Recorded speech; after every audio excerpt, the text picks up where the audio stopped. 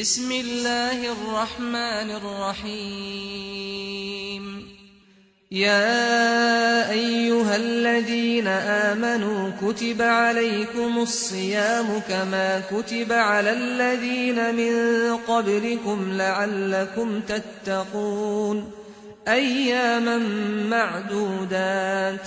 فمن كان منكم مريضا أو على سفر فعدة من أيام أخر وعلى الذين يطيقونه فدية طعام مسكين فمن تطوع خيرا فهو خير له وأن تصوموا خير لكم إن كنتم تعلمون شهر رمضان الذي أنزل فيه القرآن هدى للناس وبينات من الهدى والفرقان فمن شهد منكم الشهر فليصمه ومن كان مريضا أو على سفر فعدة من أيام أخر يريد الله بكم اليسر ولا يريد بكم العسر ولتكملوا العدة ولتكبروا الله على ما هداكم